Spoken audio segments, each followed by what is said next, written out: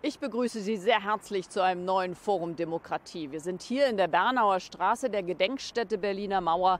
Und vor 30 Jahren stand hier die Mauer und genau wo ich mich hier jetzt befinde, war der Todesstreifen. Das Forum Demokratie ist das Phoenix-Gesprächsformat in der thematischen Spannungszone zwischen historischer Erfahrung und aktueller politischer Realität. In diesem Jahr folgen wir der Zahl 9. Denn im vergangenen Jahrhundert war vor allen Dingen in diesen Neunerjahren epochale Ereignisse die die Wegscheiden der Demokratieentwicklung in Deutschland bestimmt haben. Das Jahr 1919 haben wir uns angeschaut, 1929, 49, 69 und nun schauen wir auf das Jahr 1989, in dem die Mauer fiel.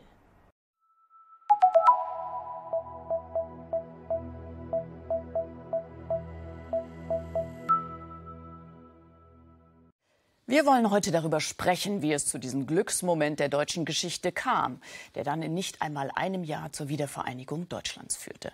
Wir wollen zurückreisen zu jenem 9. November 1989, aber eben auch über dieses Datum hinaus weiter zurückschauen und ergründen, wie der Mauerfall möglich werden konnte. Wir wollen aber auch in den Einigungsprozess des wiedervereinten Deutschlands blicken. Wie war das damals, als sich die zwei Deutschlands auf den Weg machten, eins zu werden? Diese Zeitreise wollen wir hier am Tisch in dieser Runde wagen und ich begrüße sehr herzlich in dieser Runde Freya Klier, ehemalige DDR-Bürgerrechtlerin, Autorin, Regisseurin und Dokumentarfilmerin. Herzlich willkommen. Ich begrüße Sie. Und ich begrüße sehr herzlich den ehemaligen Kanzleramtsminister, Innenminister im Kabinetten Helmut Kohl, Dr. Rudolf Seiters. Und ich begrüße sehr herzlich den Historiker Ilko Sascha Kowalczuk. Herzlich willkommen bei uns. Und ich begrüße den Historiker Professor Manfred Görtemarker, der uns im Forum Demokratie ja schon oft begleitet hat. Herzlich willkommen an Sie alle. Frau Klier, Sie haben anlässlich des 30. Jubiläums des Mauerfalls ein Buch geschrieben. Äh, Wo warst du? Und haben dort Zeitzeugen zu Wort kommen lassen, die einfach erzählt haben, äh, was sie tatsächlich an diesem Tag gemacht haben. Und ich würde das gerne als Einstieg für diese Sendung nehmen und Sie fragen, was haben Sie gemacht am 9. November? Äh, ich war ja schon ausgebürgert mit meinem Mann, mit meiner Tochter Nadja. Und wir waren in West-Berlin. Wir haben eine Wohnung gekriegt und haben gesagt, wir möchten in ein Multikulti-Haus. Das kannten wir nicht aus dem Osten, gab es nicht. Und dann sind wir, haben wir eine Wohnung gekriegt, eine ganz normale, in einem Haus, die, das gerade fertig war. Schräg rüber vom Springerhochhaus, also direkt an der Mauer. Und äh, es war wirklich auch sehr schön. Also verschiedene Italiener und Griechen und gemischt. Also es war wirklich schön. Und als das, die, das äh, mit der Mauer kam, Stefan Krawczyk war in der alten Ober Frankfurt. Der hat ein Konzert, der hat das alles gar nicht mitgekriegt, weil da eben Musik war und es ihm dann keiner gesagt hat. Und Nadja und ich, wir waren zu Hause, eben schräg, schräg rüber vom Springerhochhaus, zwischen Heinrich-Heine-Straße und Checkpoint Charlie, diese beiden Übergänge. Und dann kriegte ich einen Anruf aus Kanada. Ich schrieb gerade an einem Buch und ich solle sofort den Fernseher anmachen. Äh, äh, die Mauer ist offen. So, Sie dann, ja auch aus dem Fenster gucken können. Nee, da hatte ich nicht gesehen. Mhm. Denn es ging ja über die Böse Brücke. Mhm. Ja, und dann lief das, die liefen alle zum Kudamm, die Leute. Also bei uns war gar nichts. So alles, das sah man dann im Fernsehen, dass sie alle rübergingen. Wie gesagt, die beiden Übergänge bei uns waren zu. Und am nächsten Morgen da ging es richtig los. Also wir haben natürlich die ganze Nacht geguckt, wie alle anderen Menschen und so. Und ich habe versucht, Stefan zu erreichen. Aber Sie sind gar nicht rausgegangen an dem Abend? Nee, weil es war ja nicht. Also ich wollte, wüsste jetzt, hätte gar nicht gewusst, wohin. Mhm. Sondern äh, äh, auf, wir wurden erwartet am nächsten Morgen, ungefähr so ab sieben oder acht. Inzwischen waren diese beiden Grenzübergänge nämlich geöffnet worden. Und es war so, dass es, du das Gefühl hattest, der Osten rückt geschlossen 500 Meter Richtung Westen. Du konntest nicht mehr treten. Herr Dr. Seiters, wo waren Sie am 9. November? So ein Datum, was man da nicht vergisst und Nein, auch den Tag nicht. Ich saß zusammen am späten Nachmittag im Kanzleramt mit den drei Fraktionsvorsitzenden von CDU, CSU, SPD und FDP, also Mischnick, Vogel und Träger und mit Wolfgang Schäuble. Äh, über alle möglichen innenpolitischen Fragen, wie das so üblich war, haben wir gesprochen. Niemand hat damals geahnt, was dann kommt. Plötzlich wurde die Tür aufgerissen und der Regierungssprecher Eduard Ackermann stürzte herein mit den Worten, die Mauer fällt, die Mauer ist offen. Und ich erinnere mich an den spontanen Zuruf von Wolfgang Schäuble. Ackermann, als ich noch Chef des Kanzleramtes war, war Alkoholtrinken im Dienst verboten. Also mit anderen Worten, wir waren alle völlig überrascht. Aber dann ging es ja so schnell, wir mussten die, den Wahrheitsgehalt dieser Nachricht natürlich prüfen. Parlament unterbrach seine Sitzung. Ich konnte um 20.46 Uhr dann, Helmut Kohl war ja in Warschau für die Bundesregierung eine erste Erklärung dazu abgeben. Dann die Fraktionsvorsitzenden, dann dieser emotionale Moment, dass die Abgeordneten sich erhoben und die Nationalhymne sangen. Und wir hatten alle Hilfe zu tun, mit Warschau Kontakt aufzunehmen. Nicht nur wegen der Informationen, die es aus Bonn gab, sondern auch, weil mittlerweile äh, bekannt geworden war, dass am nächsten Tag vor dem Schöneberger Rathaus eine große Kundgebung stattfinden sollte. Und uns war natürlich klar, Kohl muss seinen Besuch in Warschau unterbrechen. Damals hat man Adenauer den Vorwurf gemacht, dass er nicht sofort an der Mauer gewesen ist, die dort gebaut worden war. Und jetzt ein Kanzler, der, wenn die Mauer fällt, auch nicht sofort da ist. Also, wie kommt er nach, äh, wie kommt er nach Berlin? Und wie bringt er das seinen polnischen Gastgebern äh, nahe? Was nicht so ganz einfach äh, war. Ist dann mit der, weil wir ja keine Überflugrechte hatten, der, äh, unserer Luftwaffe, ist er nach Hamburg geflogen mhm. äh, und dann mit der Privatmaschine des amerikanischen Botschafters dann nach äh, Berlin. Und anschließend nach dieser großen Kundgebung haben wir dann einen Gang zum Brandenburger Tor gemacht. Herr Kowalczyk, wo waren Sie, 9.11.? Ich war im Bett und äh, da blieb ich auch, weil ich das auch nicht glauben wollte. Wenn man heute so viele Zeitzeugen hört, dann staunt man ja immer. Die Zahl derjenigen, die so rückwärtsgewandte Propheten sind, wird immer größer. Es haben immer mehr Leute im Widerstand gegen die kommunistische Diktatur gestanden. Und es haben auch irgendwie immer mehr Leute schon lange vorher gewusst, dass die Mauer irgendwie einfallen wird. Ich habe das nicht gewusst. Äh, ich habe das auch am 9. November um 18 Uhr nicht gewusst. Und mich hat das überrascht. Ich bin in Ostberlin groß geworden. Ich habe immer mit äh, einem äh, Teil meines Kopfes in Westberlin gelebt. Ich wusste immer ganz genau, was irgendwie in den einschlägigen Clubs los ist, was in den Kinos gespielt wird.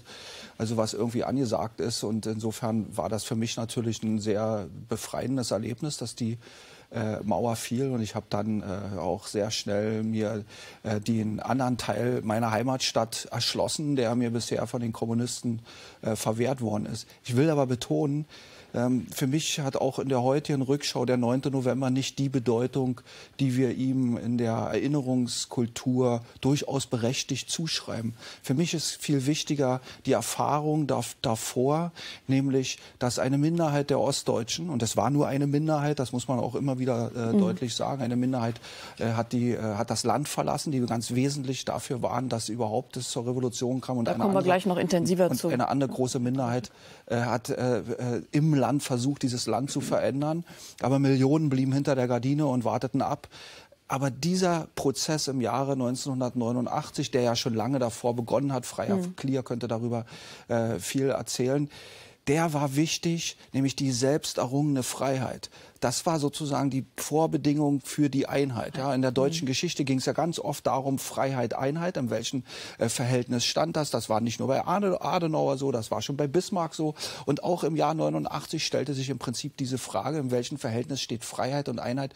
Und wir können heute eben sagen, zuerst stand die selbst errungene Freiheit und dann wurde auch die Einheit möglich. Und für mich ganz persönlich war das eben ein ganz wesentliches Erlebnis, dass ich diese errungene Freiheit auch als eine selbst errungene Freiheit erlebt habe. Mhm. Und insofern schaue ich auch heute noch auf meine Biografie, auf mein Leben immer zurück auf ein davor 89 und ein danach 89. Mhm.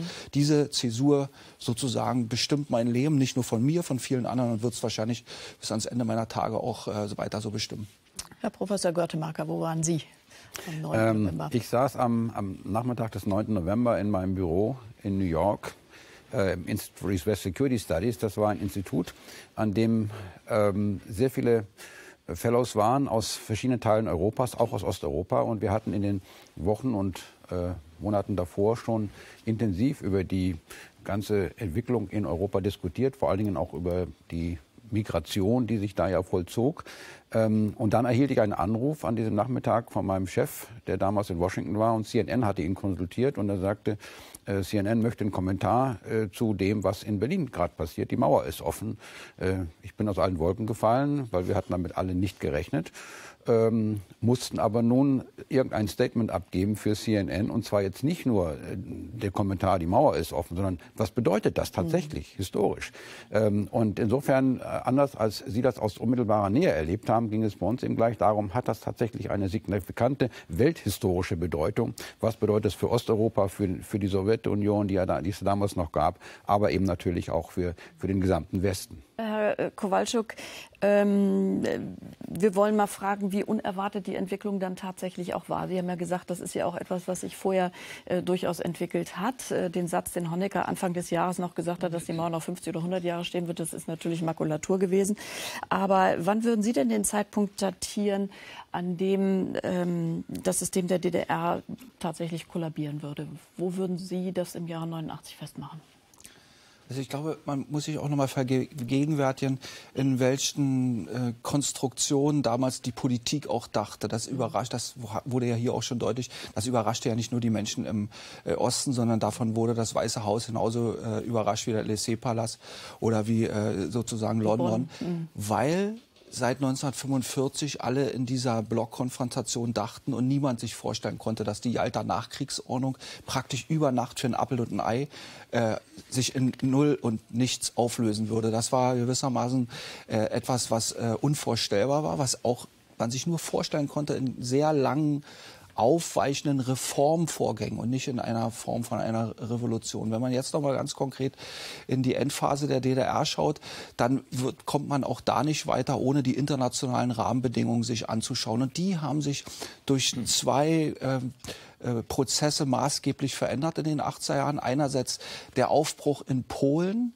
ähm, von unten eine ganz, die durch die Solidarność, äh, was ganz wesentlich war für die veränderte Statik im Ostblock und gleichzeitig der Aufbruch von oben in Ungarn, was ganz wesentlich dann auch für die äh, Fluchtprozesse in der DDR war. Ich will das bloß mal an eine Sache erinnern, die viele immer nicht so genau wissen, warum eigentlich in Ungarn dann irgendwie der eiserne Vorhang abgebaut wurde und warum es überhaupt zu diesen Fluchtkonstellationen kam. Ungarn war wie alle Ostblockstaaten in einer äh, äh, tiefen Krise. Sie brauchten Kredite vom internationalen Internationalen Währungsfonds. Und um Kredite auf dem internationalen Markt äh, zu bekommen, muss man bestimmte Bedingungen erfüllen. Und eine Bedingung ist unter anderem äh, die Genfer äh, Flüchtlingskonvention zu ratifizieren. Äh, und das heißt unter anderem, dass man niemanden dorthin zurückschickt, der in einem Land gelandet ist, wenn er wegen dieser Flucht politische Verfolgung äh, zu befürchten hat. Und genau sozusagen in dieser, äh, in, in, in, in dieser Zange befand sich nun Ungarn. Die haben das dann also ratifiziert und das machte erst eigentlich alles andere äh, möglich. Also das sind die einen Sachen, die, die Statik äh, des Ostblocks kam in Wanken, vor allen Dingen durch Ungarn und Polen und dann natürlich Michael Gorbatschow, der nun 1985 an die Macht kam und der etwas machte, was irgendwie unvorstellbar war. Die Sowjetunion, Moskau waren, waren Synonyme für Stillstand, für Reaktion, für nichts geht mehr. Und nun kam Gorbatschow und versuchte äh, dieses Land, was also irgendwie am Boden da niederlag mit einer unglaublichen Armutsquote, was man im Westen auch gar nicht so wahrnehmen konnte. Mhm. 40 Millionen Menschen in der Sowjetunion haben Mitte der 80er Jahre unterhalb der Armutsquote gelebt. Und der wollte nun irgendwie dieses Land äh, in Bewegung bringen mit tauglichen und untauglichen Mitteln. Das ist auch damals kontrovers diskutiert worden. Und die Effekte, die das wiederum auf den Ostblock hatte und nun auch auf die ostdeutsche Gesellschaft, dass viele Menschen sagten, also wenn sich dort etwas bewegen lässt, dann muss sich doch bei uns auch etwas bewegen lassen. Und insofern, also passierte da viel, da veränderte sich die internationale, äh, also die Weltpolitik. Der Osten und der Westen fingen ganz anders an, miteinander umzugehen, nach ein paar Startschwierigkeiten, die alle bekannt sind, aber ab Ende 86, Anfang 87 kam da viel Bewegung hinein.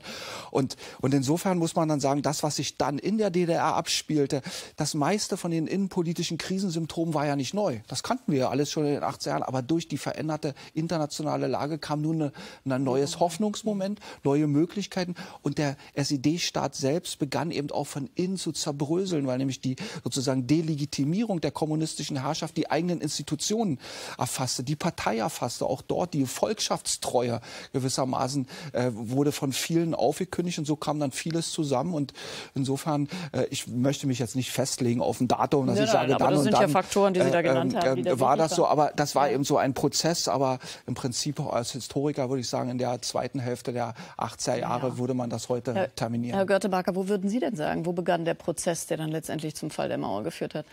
Ich würde doch noch etwas weiter zurückgehen. Ich glaube schon, dass, ähm, dass beispielsweise die Konferenz über Sicherheit und Zusammenarbeit, die Schlussakte von Helsinki von 1975, Wesentliches in Bewegung gesetzt hat in Osteuropa. Herr Kowalczyk hat vollkommen recht. Das kann man aus der DDR alleine heraus nicht erklären. Man muss das osteuropäische Umfeld sehen. Und hier passiert eben doch einiges. Das beginnt eigentlich schon mit der neuen Ostpolitik von Willy Brandt, aber dann die Schlussakte von Helsinki ist eine entscheidende Zäsur, denn danach entstehen die sogenannten Helsinki Watch Groups in Osteuropa. Äh, danach beginnt es auch in der, in der Sowjetunion zu kriseln. Die Charta 77 in der Tschechoslowakei entsteht, das ist ganz wichtig. Dann kommt Solidarność, dann kommt Ungarn dazu. Das heißt also, wir haben hier einen, einen Prozess, der ein, ein, eine Auflösung des Ostblocks gewissermaßen beschreibt, eine Infragestellung dessen, was, äh, was eben dort eben nach 1945 passiert war. Wenn Und, ich da noch etwas dazu ja? sagen darf. Und die Ausreisebewegung aus der DDR hat nun erstmals auch ein völkerrechtliches Dokument in der Hand, Richtig. auf das sie sich berufen Richtig. können, was ganz Richtig. wesentlich für die wichtig war Destabilisierung Die Schlussakte ist tatsächlich in allen wesentlichen osteuropäischen Zeitungen auch veröffentlicht worden und man konnte sich direkt darauf beziehen. Und das war, war von besonderer Bedeutung. Dieser berühmte Korb 3 der Schlussakte, äh, Akte, wo es tatsächlich auch um, um Auswanderung geht, ist natürlich ein entscheidender Punkt. Also äh, menschliche Erleichterungen sind ein wesentlicher Aspekt der Schlussakte und darauf konnte man sich beziehen. Und das haben die Menschen Menschen zum Anlass genommen, das auch tatsächlich ernst zu nehmen. Die Schlussakte ist das eine, Herr Dr. Seiters. Aber äh, ich komme noch mal zurück auf Willy Brandt, äh, der ja von Herrn äh, Professor Görtemarker erwähnt wurde. War diese neue Ostpolitik Brandts ähm, vielleicht sogar die Basis für den Untergang letztendlich der DDR? Oder die, kann man das nicht Die sehr umstrittene neue Ostpolitik 1969, 72, 73 war in der Rückschau aus der Sicht der CDU eine sehr wichtige, äh, wichtige äh, politische, politische Maßnahme, weil sie auch verbunden war mit äh, mehr Reisemöglichkeiten. Die Menschen in der DDR konnten äh, peu à peu äh, doch die Situation in der Bundesrepublik, äh, in der westlichen, äh, im westlichen Deutschland kennenlernen. Also, aber es war kein, kein Zündfunke, der später zur Einheit geführt hat. Aber das ist schon anzuerkennen, dass hier wichtige Schritte gemacht worden sind. Der Unterschied, der Unterschied zwischen den beiden Gruppierungen war ja folgender, dass, dass in der SPD es viele gab, die meinten, ähm, Wandel durch Annäherung, äh, das äh, würde dazu führen, dass die beiden Staaten allmählich sich näher kämen, auch im äh, sozialen, gesellschaftspolitischen Bereich, während ähm, die, die Union ja seit Adenauer immer davon fest ausgegangen ist, dass irgendwann der Zeitpunkt kommt, wo der Osten nicht mehr lebensfähig ist, jedenfalls die DDR nicht mehr und dann also die Wiedervereinigung kommt. Die haben auch gefragt, äh, ähm, seit wann wir geglaubt haben, dass es äh, zur Wiedervereinigung kommt. Also noch nicht am 30. September, als ähm, äh, Hans-Dietrich Genscher und ich auf dem Balkon der Prager Botschaft standen und Hans-Dietrich Genscher dann sagte, wir sind zu Ihnen gekommen, um Ihnen die Ausreisefreiheit zu verkünden. Obwohl das ein sehr emotionales, wirklich emotionales Erlebnis war, die Gespräche im Garten nachher mit den Flüchtlingen. Mhm. Wir haben es auch noch nicht äh, geglaubt, dass die Wiedervereinigung vor der Tür steht äh, beim Mauerfall. Da haben Sie völlig recht. Ähm, wir haben also, es auch noch äh, nicht. Da kommen wir gleich noch zu. Ja. Äh, da, das äh, heben aber Sie sich auf, ja wissen, wann wir es geglaubt haben. Ja, aber das will ich noch eben sagen. Ja, okay, sagen Sie es noch. Nicht beim Zehn-Punkte-Plan von Helmut Kohl, Kohl. Mhm. am 28. November, sondern in Dresden. Mhm, okay. In Dresden waren wir überzeugt davon, es hat jetzt überhaupt keinen Sinn mehr, äh, noch weitere Verträge äh, mit äh, dem Ministerpräsidenten Modo zu machen, mit einer einzigen Ausnahme möglichst bald die freien Wahlen herbeizuführen, die dann ja auch im März, im März stattfanden. Die, die, die Reaktion der Dresdner Bevölkerung, der Bevölkerung der DDR war nicht nur an der Frauenkirche, sondern auch vor dem Hotel Bellevue äh, und äh, bei den ganzen Begegnungen so unglaublich, unglaublich eindeutig äh, dass äh, wir dann ja auch in den Gesprächen und der Bundeskanzler vor allen Dingen in den Vier-Augen-Gesprächen auch mit Modrow gesehen hat, die ganze Hilflosigkeit unter dem Gesichtspunkt, äh, im Grunde wirtschaftspolitisch, finanzpolitisch war die DDR am Ende. Mhm. Und sie unterhielt, erhielt keine Na Hilfe äh, aus Moskau. Frau Klier, Sie sind 1950 geboren ja. in der. Ich werde jetzt gleich erstmal an mein Veto einlegen. Äh, Im Lobe äh, Wandel durch Annäherung. Es ist eine der verheerendsten politischen Entscheidung gewesen für uns, für die Bürgerrechtler. Wir haben wahnsinnig drunter gelitten. Es ging auf einmal, war alles irgendwie nur noch auf Erich Honecker und Politbüro konzentriert. Äh, dann wurde gesagt, wir können reisen, ihr könnt reisen. Dann wurden die Leute, die ohnehin schon furchtbar waren und nichts sagten und uns nicht halfen in Richtung Demokratie, machten jetzt gar nichts mehr, damit sie auch eine Reise abkriegen. Also ganz verheerend war es dann wirklich 86. Da haben wir ein Stück, ein Theaterstück geschrieben dazu, weil es nicht mehr auszuhalten war. Denn ich machte zu der Zeit eine geheime Jugendbefragung, der erste überhaupt. Und die Kinder und Jugendlichen, die sind verrückt geworden, weil ihre Eltern jetzt sagten, jetzt halt die Klappe, du musst jetzt nicht immer was sagen oder sowas. Wir wollen die nächste wollen Reise reisen. kriegen. Mhm. Und das war ein richtiger Schlag und, und war nicht, also das ist ungefähr so gewesen, als würden wir uns entschieden haben, 1973 oder in den 70er Jahren uns mit Pinochet anzunähern und dann zu behaupten, es ist Wandel durch Annäherung. Das geht nicht mit einer Diktatur. Mhm. Ja, man kann sich nicht mit Diktaturen annähern. Man muss. ich glaube, man muss, Entschuldigung, wenn ich da mhm. noch was dazu sagen will.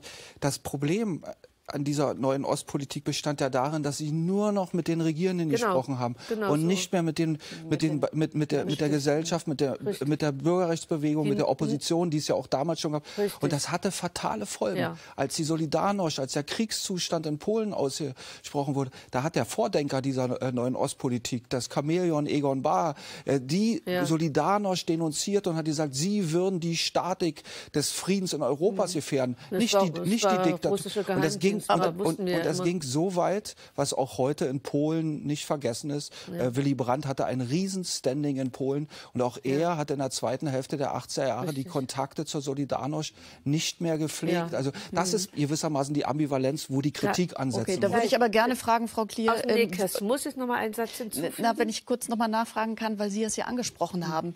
Ähm, wann begann denn eigentlich der Gedanke bei Ihnen an Opposition? War es nee, Mitte der 80er oder war es viel früher? Ich muss noch mal bei, bei Willy Brandt bleiben. Ja, aber war das zum Beispiel der Initiator, dass Sie gesagt haben, jetzt müssen nee. wir aber. Wann nee, fing nee, es wir waren, bei Ihnen? Ne, bei, nee, äh, äh, das ist eine private Geschichte. Bei mir fing es an mit dem Tod meines Bruders, der ein DDR-Opfer ist. Und äh, dann habe ich die Friedensbewegung, wie man dann später sagte, mit gegründet. Wann war ich komme das? aus der Kirche 1980 in Berlin-Pankow. Aber da ich auch vom Theater kam, habe ich sehr viel mit vernetzen können. Das war ja nicht wie heute, wo du mal eine SMS rausschickst, sondern man fuhr mit Fahrrad und mit Zügen hin zu Theaterleuten, Kirchenleuten, irgendwie mit dem Zug und, und hat, haben mir erzählt, was wir machen in Berlin. Und, äh, äh, so. und das kam aber auch parallel. Es war einfach die Zeit auch ran. Also es, es, es entwickelte sich auch woanders. Es ist jetzt nicht alles von Berlin ausgegangen, sondern da waren wir vielleicht ein bisschen früher als andere. Ich will trotzdem noch was sagen zum, zu Willy Brandt und Egon Bahr. Denn ich hatte eine das darf man immer alles nicht sagen, aber ich sage das jetzt mal, eine Talkshow äh, 1992, äh, nein, zwei waren es, mit Brigitte Seebacher-Brandt. Das war die letzte Gattin von Willy Brandt und die erzählte uns dann, dass irgendwann äh, äh, Willy Brandt aufgegangen ist und dann zwar ziemlich bald, als es rumorte und ging, wer, wer Egon Bahr ist. So, der hat ja die gesamte Ostpolitik gemacht, wer das ist, und der hat den nicht mehr an sich rangelassen. Also da, was, da haben wir alle gesagt, na Gott sei Dank merkt das jetzt endlich. Das heißt, diese Stärke, die er hatte, auch diese Schärfe äh, äh, bei dem geteilten Berlin am Anfang in den 60er Jahren, das war ja, wie gesagt, etwas gesteuert, immer mehr in Rück, äh, zurückgegangen und plötzlich kriegte der wieder eine Sprache, also seine Kraft wieder. Herr Kowalczyk, ich würde gerne auf diesen einen Punkt äh, in Sachen Opposition eingehen. Es gab äh, innerhalb der DDR, wie Sie ja sagten, gab es durchaus Opposition. Ähm, wie muss man sich das vorstellen? War das in kleinen individuellen Zirkeln? Und wann war denn die Entwicklung, dass man sagte, es, es wurden immer größere Kreise, es wurden vielleicht auch Gruppen daraus? Also man muss, wenn man sich die Oppositions- und Widerstandsgeschichte in der DDR anschaut, verschiedene Phasen zunächst sich anschauen. In den 50er Jahren war der Opposi Opposition und Widerstand ganz klar antikommunistisch orientiert, gegen das System, Abschaffung des Systems. Dann kam äh, der Mauerbau und der Mauerbau hat eben äh, praktisch eine neue politische Tagesordnung äh, äh begründet und äh, immer mehr Menschen auch in der DDR mussten nun akzeptieren, dass die DDR offenbar eben kein Provisorium ist, sondern äh, auf eine längere Zeit Dauer hin existieren wird. Es kam auch zu einer gewissen Stabilität, gerade in den 60er Jahren, dann auch noch mal in den 70er Jahren, was eben auch die ähm, die Einstellung der Gesellschaft gegenüber diesem System veränderte. Ganz massiv hat sich das dann verändert durch die internationale Anerkennungswelle Ende der 60er, Anfang der 70er Jahre, als die Hallstein-Doktrin der Bundesrepublik gewissermaßen überwunden ist.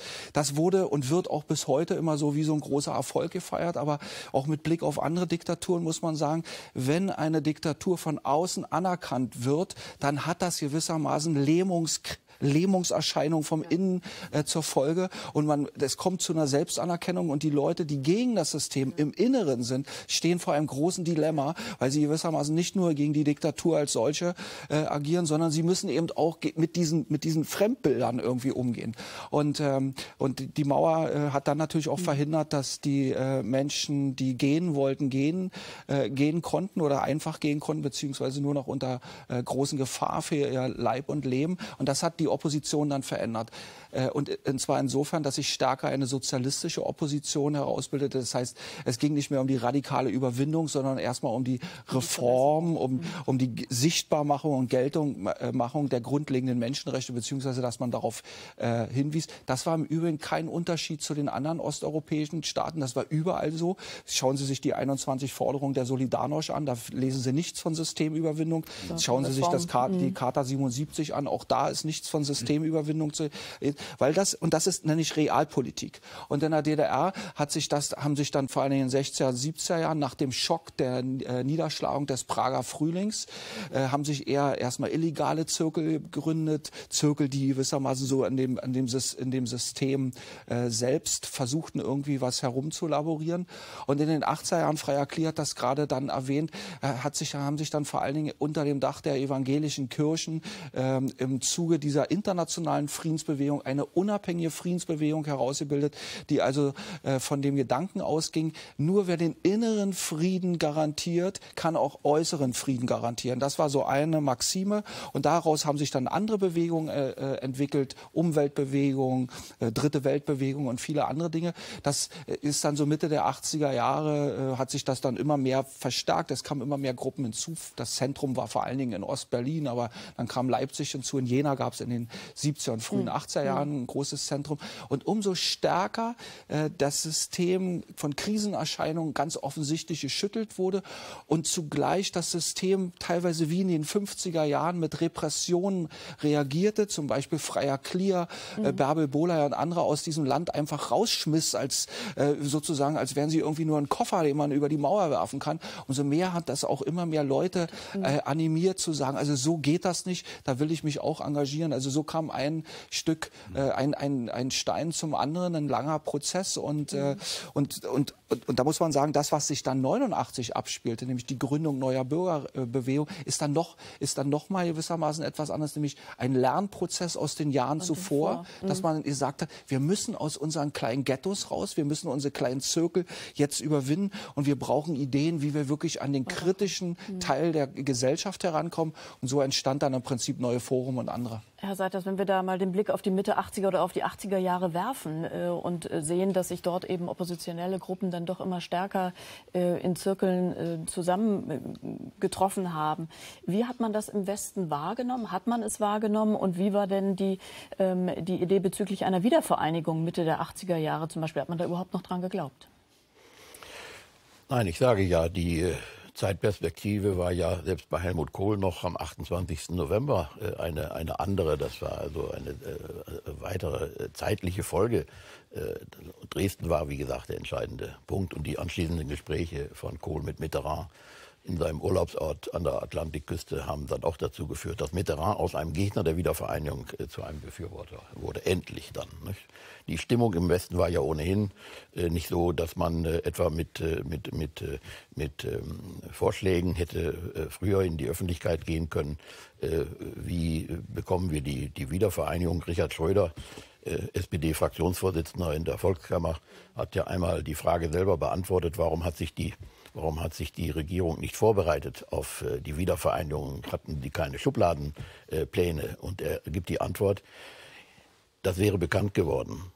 Und das hätte die Entspannungspolitik zerstört oder jedenfalls gefährdet. Nicht nur, weil der Widerstand in Moskau da gewesen wäre, sondern auch, weil er in Italien war. Andreotti, wir lieben Deutschland so sehr, dass wir am liebsten zwei davon haben. Margaret Thatcher, die erbittertste Gegnerin der Wiedervereinigung, aber nach Helmut Kohls Worten auch die ehrlichste.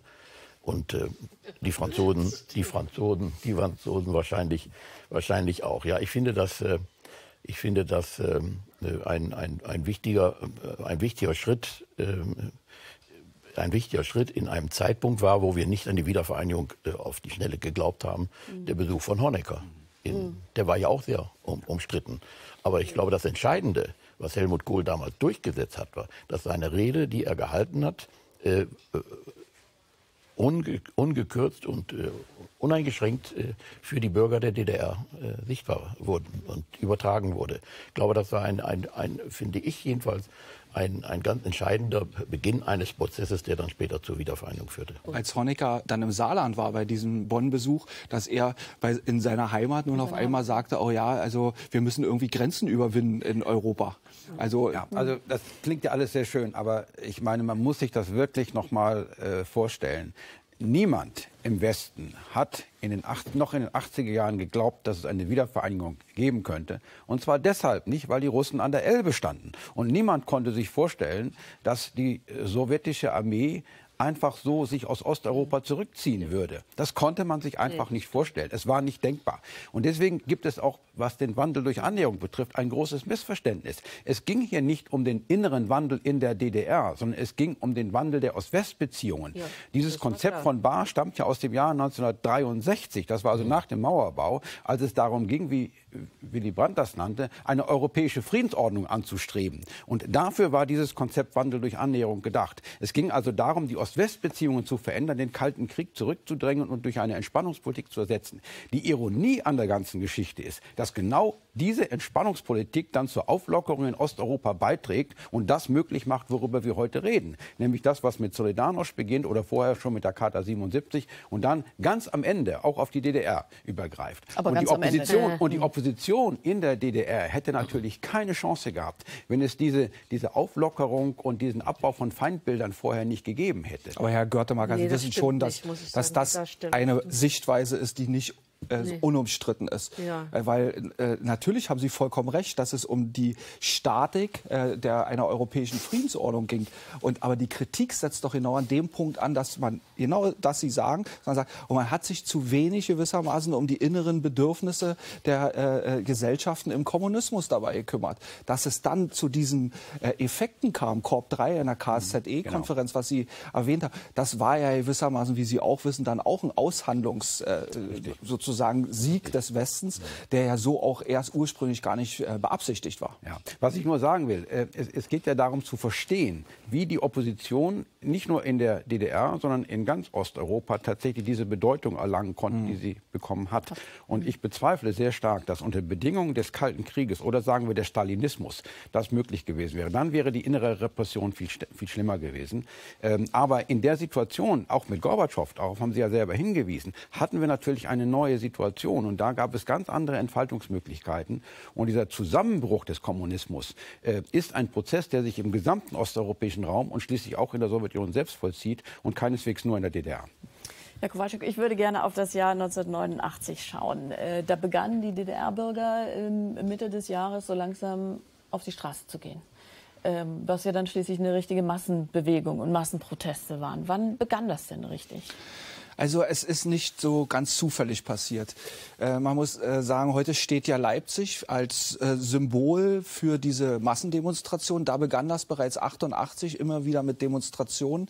Der Hintergrund war, es gab äh, Konflikte wie überall in der DDR zwischen den evangelischen Kirchenleitungen, den Gemeindekirchenräten und den oppositionellen Gruppen. So auch sehr massiv in Leipzig und so, dass sich dann dort äh, Oppositionelle sagten, okay, wir müssen sowieso raus aus der Kirche Kirche, wir müssen rein in die Gesellschaft und fingen an im Laufe des Jahres 88 mit Demonstrationen. Nun hatten sie in Leipzig äh, zweimal im Jahr das äh, Glück, dass die Weltöffentlichkeit, vor allen Dingen die Journalisten nach Leipzig schauten, fahren konnten wegen der Messe. Messe ja. Und genau sozusagen in diesem Umfeld haben sie dann solche äh, Demonstrationen gemacht. Die internationalen Medien haben darüber berichtet und so haben sie Erfahrungen äh, sammeln können. Ein, ähm, ähnliche Erfahrungen gab es bereits in Ostberlin mit äh, bestimmten äh, Repressionsmaßnahmen des Staates und dann gab es Solidarisierungseffekte und auch kleinere öffentliche äh, Protestdemonstrationen außerhalb von Kirchenmauern. und nun kam diese S Situation 1989, dass die Krise sich immer mehr zuspitzte, immer auch sichtbarer wurde. Und durch die äh, Massenflucht via Ungarn über die bundesdeutschen Botschaften in Prag und äh, Warschau kamen immer mehr Menschen, äh, haben, sind vor die Frage gestellt worden, was mache ich jetzt? Gehe ich auch? verlasse ich das Land, suche endlich sozusagen meine Zukunft woanders und äh, warte nicht mehr auf den St. Nimmerleinstag? Oder bleibe ich in, in diesem Land und äh, bleibe weiter still? Oder beginne ich auch äh, sozusagen mein, äh, mich an Veränderungen zu beteiligen bzw. Reformen einzufordern? Und genau in dieser Situation kamen Aufrufe von äh, Bürgerrechtlern, äh, und zwar durch die Bank weg von Menschen, die zwar öffentlich kaum bekannt waren, mit wenigen Ausnahmen wie Babel Boley oder Rainer Eppelmann. Aber ansonsten, die meisten waren in der Öffentlichkeit nicht bekannt. Und die haben nun verschiedene Aufrufe gemacht. Neue Forum, Demokratie jetzt, demokratischer Aufbruch und noch ein paar andere. Und das hatte den Effekt, weil die meisten ja relativ unbekannt waren, dass viele Menschen das wahrnahmen und die, und die nicht wussten, dass die sich alle untereinander kannten, die haben sich nicht abgesprochen, aber es war ja eine relativ überschaubare Gruppe. Und die dachten, guck mal an, da kommen welche und hier kommen welche. Das heißt, da kam so eine Dynamisierung, so ein Mobilisierungseffekt, dass sich immer mehr Menschen fragten, okay, äh, wenn es da so viele Leute gibt, die ihre Angst überwunden haben, die also ihr Gesicht zeigen in der Öffentlichkeit, dann muss ich mich auch positionieren. Es kam also zu einer Eingabenflut, zu einer Aufruf, äh, Aufrufeflut ab Ende August, Anfang September 1989. Und am 4. 4. September 1989 setzten dann eben in Leipzig auch diese Montagsdemonstrationen äh, wieder ein. Auch zunächst erst sehr überschaubar. Die hießen übrigens am Anfang Friedensgebete. Die Kirche hat das dann untersagt, dass diese äh, Gebete Friedensgebete heißen. Die sind umgewidmet worden in Montagsgebete mit dem Argument, äh, was ein, äh, äh ein Kirchenmann gesagt hat, er wisse noch, was, was Krieg ist. Und hier geht es nicht um, um Krieg. Und deswegen wurden die, sozusagen mhm. diese äh, äh, Gebete in Montagsgebete umgewandelt. Und jeden Montag kamen nun mehr Menschen immer mehr Menschen haben ihre Angst überwunden. Und warum kamen die? Weil die eben auch gesehen haben, dass der Staat zwar eingriff, dass der Staat auch drohte und gar nicht friedlich reagierte. Deswegen bin ich auch dagegen, von einer friedlichen Revolution zu sprechen, weil die Demonstranten waren friedlich, aber der Staat war äh, auch am 9. Oktober nicht friedlich in Halle oder Magdeburg, hat überall geknüppelt. Ähm, aber immer mehr sind dadurch sozusagen angesteckt worden. Ja, und insofern würde ich sagen, also die, die eigentliche wenn man so sagt, Hochphase der Revolution. Das war also mit dem Einsetzen der Massenflucht im Sommer und dann mhm. äh, bis sozusagen äh, Ende Oktober. Frau Klier, welche Rolle haben denn die Kirchen bei der Oppositionsbewegung gespielt? Da gibt es jetzt einen Unterschied zwischen der evangelischen und der katholischen Kirche. Die Katholiken hatten, Katholiken, Entschuldigung, die hatten das Pech, dass die damals den Bischof Meisner hatten. Der ist später abgeschoben worden äh, nach Richtung Köln und wurde dort Kardinal. Und der Meißner hat alles untersagt, was irgendwie mit Widerstand oder das, äh, äh das Hereinkommen anderer Gedanken, politische Gedanken. Äh, das heißt, die haben uns auch ihr Leid geklagt. Und selbst bei den Montagsdemos in Erfurt, ich habe einen Freund, der ist der Sohn des Küsters, im von Erfurt. Der hat bald auf den Knien gelegen, um seinem Vater zu sagen, mach die Türe auf, lass die Demonstranten rein. Nein, ich darf nicht, wir dürfen die nicht machen. Also der hat erst am, am zwei Tage vorher dann gesagt, oh, jetzt machen wir auf die Türen auf. Mhm. So und alles andere, die leiden darunter und ich muss auch sagen, wir sprechen da nie drüber, ja, weil das sie eigentlich mhm. auch nicht so, äh, äh, ja, was sich wehren konnten. Die haben dafür natürlich, weil sie so geschlossen waren, weniger Stasi-Spitzel drin. So, und in der evangelischen Kirche war alles. Es, es, lebte, es lebte auf. Es war Widerstand von einem großen Teil der Kirchenoberen, die das gar nicht wollten. Also die haben nicht alle die Hände aufgemacht. Die haben 86 noch die Solidarische Kirche gegründet, um nochmal die Pfarrer zu unterstützen und Jugendmitarbeiter, die was machten. Und ansonsten war das, war das offen, es konnten alle möglichen Leute reinkommen.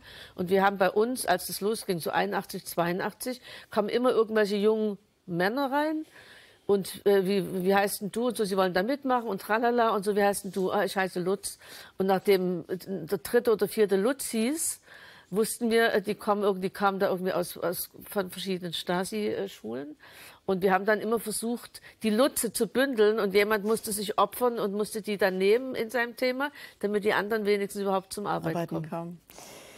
Ich will nur eine Bemerkung ja. machen. Die haben eine, eine Schilderung gegeben äh, was die katholische Kirche anbetrifft. Äh, Sie haben sicher bessere Einblicke als ich, äh, als Westdeutscher. Aber ich glaube nicht, dass das das ganz richtige Bild ist, das Sie geschildert haben. Es gab sicherlich in der evangelischen Kirche und auch in der katholischen Kirche Menschen, die sich engagiert haben, aber auch andere, die sich nicht nee, engagieren der, wollten. Nee, muss ich okay. Ihnen jetzt sagen, das, ich bin ja sehr, ich bin, komme gerade aus der katholischen Akademie. Ja, das ist ja gut. In Dresden-Meißen und da haben wir, das machen wir nicht öffentlich so, aber wir haben immer wieder dieses Thema, warum, warum die und wie die gelitten haben drunter, warum sie nicht durften. Sie durften einfach nicht sich beteiligen daran. Also da gibt es unterschiedliche Sichten, Herr ja. Scheitertz. Ich würde gerne noch mal auf den Sommer 89 schauen. Da reißt ja quasi der eiserne Vorhang ein Stück weit auf äh, an der ungarisch-österreichischen Grenze. Ähm, der Druck auf die DDR-Führung ähm, wird enorm groß. Es ist quasi wie ein Exodus. Viele flüchten auch in die ständige Vertretung nach Ostberlin. Wie hat man das in dem Moment im, in Bonn denn wahrgenommen?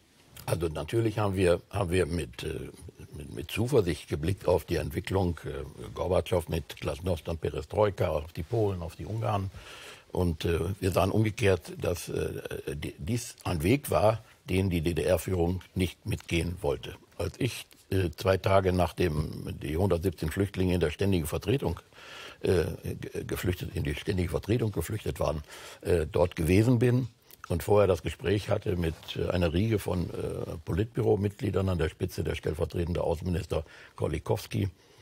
Ähm, äh, da, da, war ich aber dennoch also geradezu äh, schockiert von, der, von dem Realitätsverlust, von dem diese Leute ausgingen. Nach dem Motto, äh, das sind Verräter. Die Bevölkerung der DDR achtet nicht nur diese Regierung, sondern wörtlich, man liebt uns und es gab überhaupt kein Entgegenkommen. Und äh, das war also der, der, äh, also mein, mein Gefühl war, das geht bei denen sowieso nicht gut. Die haben äh, den, den, den Blick auf die Realitäten in, in Europa äh, völlig, völlig verloren. Äh, und dann kam Ungarn. Äh, und dann kam das Geheimgespräch äh, auf Schloss Gümnich bei Bonn, Anfang, an, Anfang September, das deswegen so wichtig war, weil die Ungarn, also Ministerpräsident Nemeth und Außenminister Jula Horn äh, äh, dort äh, bei Kohl berichteten, dass, äh, dass äh, sie ähm, ja die Genfer Flüchtlingskonvention unterschrieben hätten im Frühjahr. Äh, sie würden die Grenze öffnen, und zwar für alle Deutschen, die in ihrem Lande seien. Aber sie hatten eben doch große Sorgen, wie äh, man reagiert. Denn es war ja ein Bruch von Verträgen äh, mit den anderen, mit den anderen Ostblockstaaten und, und wie Moskau reagiert. Ja. Und es gibt ja dann das äh, Telefongespräch von Helmut Kohl mit Gorbatschow, wo er ihm sagt, die Ungarn haben vor, die Grenze zu öffnen. Wie seht ihr das? Und Helmut Kohl berichtet, dass es einen Moment Stille gegeben habe am äh, Telefon und äh, dann habe Gorbatschow gesagt, die Ungarn sind gute Leute. Das war ein Signal, das später für uns auch wichtig war, mhm. äh, wo wir also nicht die Angst hatten, dass ja. äh, Honecker oder Krenz äh, die Waffen sprechen lässt, weil sie hätten das nie gewagt ja, ohne die Zustimmung von Gorbatschow ja, und sie hätten diese Zustimmung auch, genau. auch nie, nie, nie bekommen. Ähm, ich war im Übrigen, das sage ich euch, ich habe ja wochenlang die Verhandlungen geführt über die Flüchtlinge, die in, in, in, der Prager Botschaft waren. Ich war fest überzeugt davon, nachdem wir immer wieder gesagt haben, wir lösen euer Problem nicht. Ich war fest überzeugt davon, dass es eine Lösung in diesem Sinne geben würde, und zwar vor dem Parteitag, vor den 40-Jahr-Feiern der DDR äh, Anfang, Anfang, äh, Anfang äh, Oktober. Äh, und, äh, denn die DDR konnte ja nicht wollen, dass diese Bilder aus Prag, die ja das Ansehen der DDR jeden Tag äh, beschädigten, dass diese Bilder diese 40-Jahr-Feier überlagerten, wo man ja mit großem Pomp ja. sich auch einen Popularitätsgewinn von versprach. Und hinzu mhm. kam, dass wir ja auch in Gesprächen waren mit Charles Golodkowski, Schäuble erst und dann ich, über Finanzen, der ja ungeschminkt einigermaßen ungeschminkt die Situation äh, dargelegt hat, dass man auf Devisen äh, dringend angewiesen sei. Und wir haben dann auch gesagt, ich habe dann auch gesagt, wir sind zu einer großen Finanzhilfe bereit, aber ohne eine Lösung für die Ausreisewilligen in Prag, in Warschau und in Budapest gibt es keine Mark. Na gut. Herr Kowalczyk, äh, Herr Seiters hat es angesprochen, das war ja durchaus auch eine Situation der Angst für die, die nun vorhatten, auch zu flüchten. Und man wusste nicht so richtig, ähm, wie es funktioniert. Ähm, Margot Honecker hat im Juni sogar noch gesagt ähm, und die, die Jugend ja offen dazu aufgefordert, notfalls mit der Waffe in der Hand für das SED-Regime zu kämpfen. Können Sie diese, diese Situation in dieser Zeit mal ein bisschen stärker beschreiben? Wie, war, wie stark war denn die Angst? Die war extrem. Auf der einen Seite gab es diese äh, Erfahrung, man lebt in einer hochgradig militarisierten Gesellschaft der DDR, wo also Kinder und Jugendliche schon äh, praktisch äh, zum, also im militaristischen Geist erzogen werden. Äh, vormilitärische Ausbildung war Teil des obligatorischen Schulunterrichts. Äh, ich selber könnte davon äh, eine Geschichte erzählen, wie ich mich mit zwölf Jahren zum Offizier der NVA äh, verpflichtet habe und was dann mit mir passierte, als ich mit 14 sagte, nein, ich will das doch nicht und äh, nach anderthalb Jahren meine Zukunft in diesem Land zu Ende war. Dann hatte man die historische Erfahrung selbst als junger Mensch, die Kommunisten verteidigen ihre Macht mit allen Mitteln. Das hat man am 17. Juni gesehen, das hat man 1968 gesehen, das hat man in Polen gesehen. Der Mauerbau ist letztendlich der Höhepunkt der terroristischen Maßnahmen gewesen, nämlich die präventive Infang äh, äh, Gefangenschaft eines ganzen Volkes hinter, äh, hinter Kerkermauern, wenn man, wenn man so will, nur dass viele das dann irgendwann nicht mehr als äh, Kerkermauern wahrgenommen haben. Und also die, diese Erfahrungen, die waren sehr implementiert in der der Gesellschaft. Nun kam Gorbatschow und Herr äh, Seiters hat das ja eben schon äh, erzählt ähm, mit diesem Telefonat zwischen Kohl und Nemeth. Und da gibt es ja noch zwei Geschichten davor, die sich natürlich rumgesprochen haben. Gorbatschow hat 1987 beim Staatsbesuch in Prag, am Rande eines Staatsbesuches in Prag, die Brezhnev-Doktrin praktisch äh, aufgehoben. Die Brezhnev-Doktrin sagte nach 1968, dass die sozialistische Weltgemeinschaft, also unter Führung von Moskau, ähm, äh, immer bereit und in der Lage ist, den Sozialismus auch in anderen Bruderländern zu verteidigen, wenn der Sozialismus dort in Gefahr ist. Und Brezhnev hat diese äh, Interventionspolitik äh, 87 im April erstmals aufgekündigt und im Sommer 1989, als der Warschauer Pakt in Rumänien äh, äh, tagte, hat er das bekräftigt. Er hatte natürlich äh, eigentlich ähm, vor allen Dingen Polen und Ungarn im Blick, denn es deutete sich ab, dass dort mit den halbfreien Wahlen auch demnächst wahrscheinlich also äh, der Warschauer die Mitgliedschaft im Warschauer Vertrag zur Disposition steht. Und nun passiert aber Folgendes im Sommer 89, wie jeder sich gut erinnern kann. In Peking wird die Demokratiebewegung brutal niedergewalzt. Und das einzige Regime auf der Welt, was den äh, Kommunisten in Peking ihre unverbrüchliche Solidarität äh, äh, zeigte, war die SED, war die DDR, war namentlich Egon Krenz, war Günter Schabowski, war Hans Modrow, alle namentlich, die sich mit denen solidarisierten und nicht nur im Sommer. Das wird auch ein Signal sein? Sondern, sondern auch noch mal Ende September, Anfang Oktober äh, 1989, als die also sowohl in Peking als auch in Ostberlin ihre äh, so großen Mani also ihre großen propagandistischen Manifestationen inszenierten. Auch da haben sie das noch mal äh, inszeniert und und äh, diese Solidarität gezeigt und nur in dem DDR-Fernsehen ist der Propagandafilm des Chine der chinesischen kommunistischen Partei mehrfach immer wieder wiederholt worden, wo gewissermaßen bewiesen werden sollte, in Anführungsstrichen, dass die Niederschlagung der äh, chinesischen Demokratiebewegung rechtens waren, dass das alles Faschisten waren, dass das also richtig. Und das war natürlich ein Signal an die ostdeutsche Gesellschaft. Wenn ihr auch so etwas wagt, dann werden wir das auch machen. Die einzige Hoffnung, die man, die die Menschen in der DDR damals hatten, die sich also damit befassten und die also auf den Straßenbahn, war wieder Gorbatschow, weil man davon ausging, er wird die sowjetischen Panzer diesmal in den Kasernen lassen. Das war die große Hoffnung und die hat sich Gott sei Dank äh, erfüllt. Man muss das auch noch mal ganz deutlich sagen.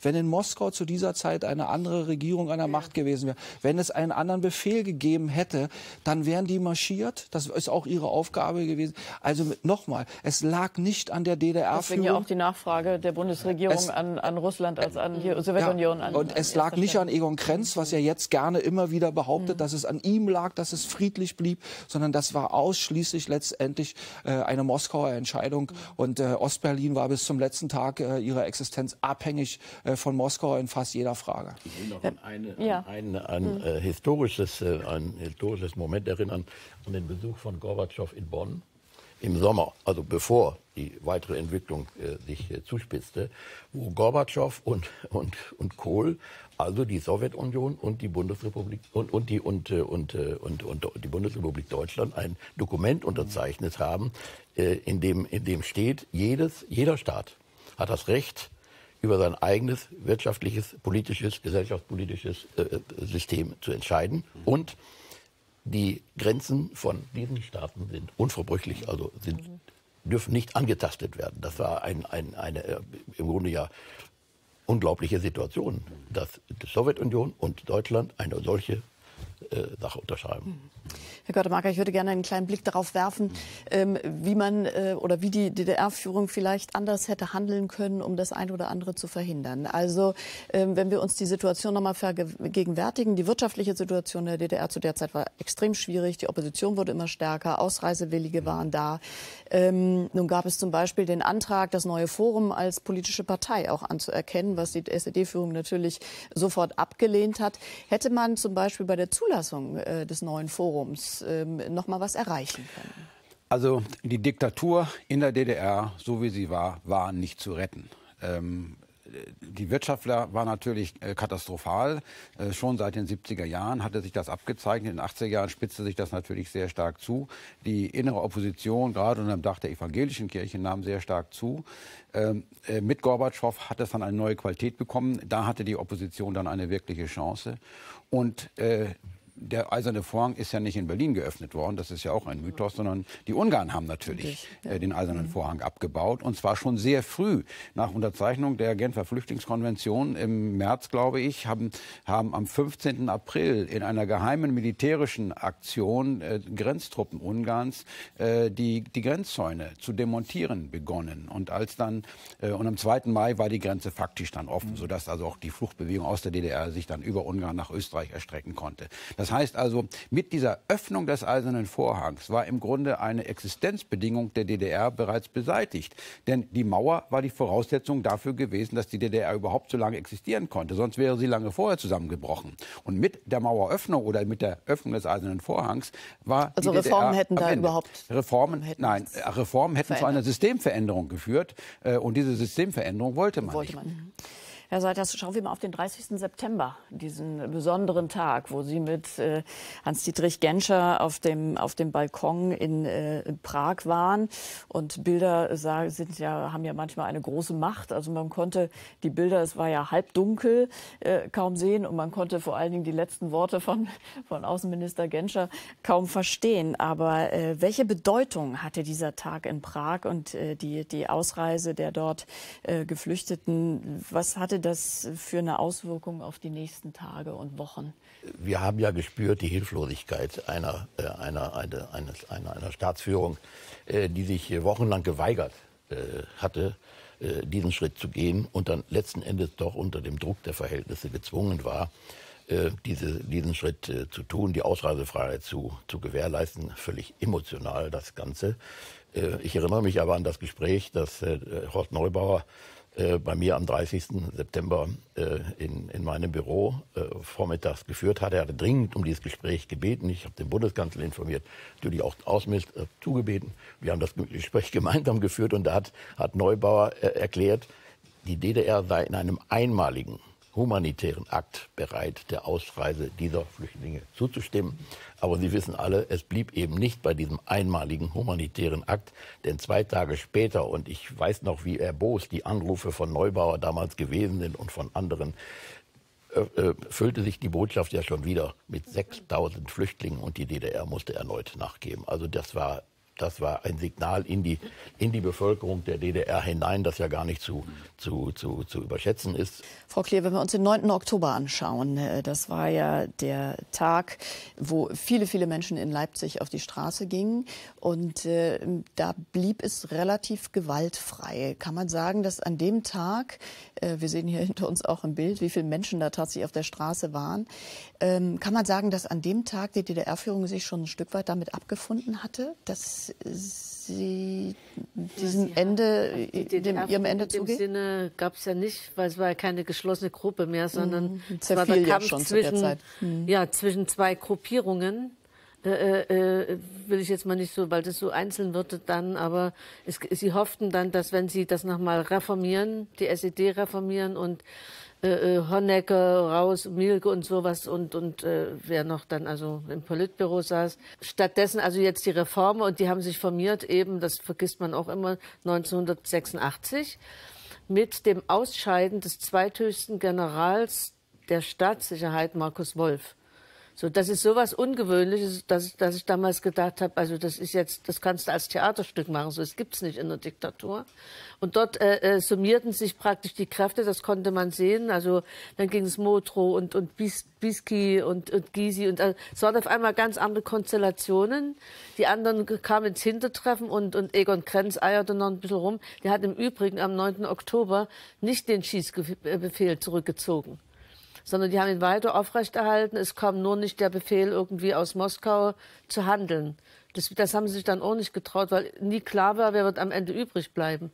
Aber es ist so, so gewesen, dass äh, also jetzt rechnen gerade äh, zwei Autoren nach, dass es gar nicht 70.000 äh, gewesen sind, sondern 120.000. Mhm. Wie auch immer, es ist auf jeden Fall jetzt äh, eine starke Zunahme der Leute, die raus wollen aus dem Land. Ne? Die kamen natürlich alle zusammen und, und haben jetzt irgendwie auch die Dynamik mit befördert.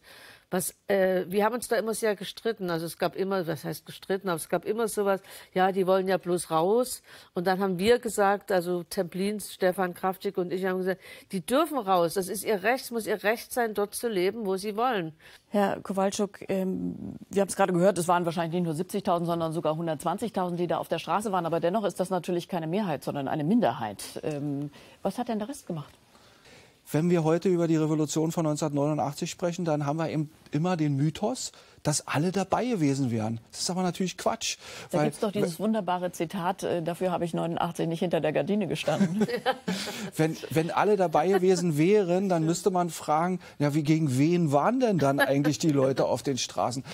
Diktaturen und die DDR-Diktatur war eben lange auch stabil, zumindest sah es nach außen so aus, wären nicht überlebensfähig, wenn nicht auch große Teile der Gesellschaft warum auch immer, aus tiefer Überzeugung, aus, weil sie überleben wollen, aus Anpassung mitmachen hinter der Gardine stehen, äh, so, äh, loyal zu dem Regime waren. Und bei der DDR muss man sagen, noch lange nach dem 9. Oktober 1989 waren Millionen Menschen immer noch loyal gegenüber dem Regime.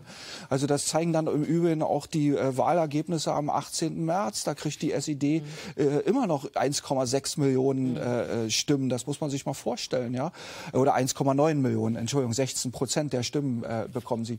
Also, und insofern ist das äh, eigentlich das Problem, dass wir in den letzten drei Jahrzehnten in vielen Sonntagsreden immer so getan haben, als wenn alle bei der Revolution dabei gewesen wären und als wenn alle die Einheit wollten und als wenn alle das genau wollten, wie es dann gekommen ist. Das ist in der Geschichte nie so und das war auch 1989, 90 nicht so. Herr Dr. Seiters, ähm, ich habe am Anfang davon gesprochen, dass es natürlich ein Glücksmoment war, äh, der 9. November 1989.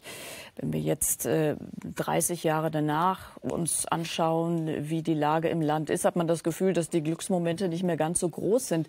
Würden Sie sagen, die äh, friedliche Revolution taugt 30 Jahre danach nicht mehr als hm, identitätsstiftend für alle Deutschen? Die Stimmung in der in den ostdeutschen Ländern ist natürlich im Augenblick, wie ja auch die Wahlergebnisse zeigen, nicht überall gut, sondern gemischt. Äh, das hängt einmal damit zusammen, weil, äh, weil äh, trotz aller Erfolge in Sachen Wirtschaftspolitik, wir haben große Fortschritte dort, wir haben bei der Wirtschaftskraft, bei der Erwerbstätigkeit, bei der Arbeitslosigkeit, vor zehn Jahren war der Abstand bei der Arbeitslosigkeit zwischen Ost und West zehn Prozent und heute 2 Prozent. Das ist ungefähr so wie zwischen einem norddeutschen Bundesland und Bayern. Also das ist das Normale. Das Aber wir haben natürlich, wir haben natürlich, wir haben natürlich äh, strukturelle Fragen, äh, Probleme allein durch den Bevölkerungsrückgang, durch den Schrumpfungsprozess. Das heißt, viel Ältere leben in den ent entfernt äh, äh, liegenden Regionen und die Jungen sind teilweise weggegangen. Das muss man einfach sehen. Das Zweite ist, wir haben einen sehr starken Mittelstand in, der, in den ostdeutschen Ländern, aber die Konzernzentralen sind, sind zum Beispiel nicht da. Mhm. Und daran macht sich manches auch fest in Sachen Agitation. Wir haben Grund, stolz zu sein auf das, was damals geschehen ist, auch mhm. durch die friedlichen Demonstrationen, auch durch eine kluge Politik, will ich sagen. Äh, aber äh, wir haben auch eben Glück gehabt. Aber an dieses Glück und diesen Glückmoment dürfen wir auch heute gerne erinnern. erinnern. Und ich bin ja. im Grunde auch optimistisch, dass das bei der Masse der Bevölkerung auch so ist. Herr Görtemacker, friedliche Revolution, 30 Jahre danach. Inwiefern ist das noch eine positive Identitätsstiftung für alle Deutschen? Dieses Glücksmoment, dass eine Wiedervereinigung nicht nur Deutschlands, sondern Europas möglich wurde, ist natürlich etwas ganz Großartiges. Und ähm, es wäre fatal, wenn wir diese Möglichkeiten, die sich daraus ergeben, tatsächlich Ost- und Westeuropa zusammenzuführen, mhm. vertun würden. Ähm, und das gilt innenpolitisch wie außenpolitisch. Aber die politischen Schwierigkeiten, die Herr Seiters gerade völlig zu Recht angesprochen hat, verlangen natürlich nach Antworten. Ähm, und diese Antworten sind in der Politik bisher zu wenig erkennbar. Und das erklärt auch, warum dann diejenigen, die sich aus ähm, welchen Gründen auch immer, entscheiden, äh, Parteien zu wählen, die nicht wirklich auf dem Boden dieses, dieser Demokratie stehen, mhm. dann plötzlich eine ungeahnte Stärke erreichen. Frau Klier, wo sind die Glücksmomente von vor 30 Jahren? Ich finde, ich habe das, Glück, das Glücksmoment immer noch, äh, äh, weil das auf einer, auf einer tieferen Ebene liegt bei mir als jetzt mal, das stimmt nicht, das ist hier ist schief gelaufen, alles okay und ist natürlich historisch, es gab noch niemals einen Fall äh, äh, von so einer Wiedervereinigung, wo man auch äh, äh gar keine Vorlagen hatte jemand, ich glaube, das war Hocher Vogel, hat gesagt, wir hatten ein Ministerium für, für Fragen, für deutsch-deutsche Fragen, aber keins für deutsch-deutsche Antworten. Und ist einiges gewesen, wo man sagen, mm, oh, oder so. Und das soll auch so sein, also gehört halt dazu in so einem Prozess. Aber insgesamt, dass die Menschen frei entscheiden können über sich, das ist irgendwie wahrscheinlich auch nur von denen, die es betrifft, so äh, äh, wird immer noch so wahrgenommen. Ja, also die mäkeln dann nicht an diesem oder jenem rum oder machen das, aber das, der große Prozess äh, ist einfach da. Herr Kowalczyk, das Glücksgefühl scheint zumindest im Osten so ein bisschen verloren gegangen zu sein. Kann man das so sagen? Ist, ist dieses positive, identitätsstiftende Moment nicht mehr so zu spüren nicht mehr so da?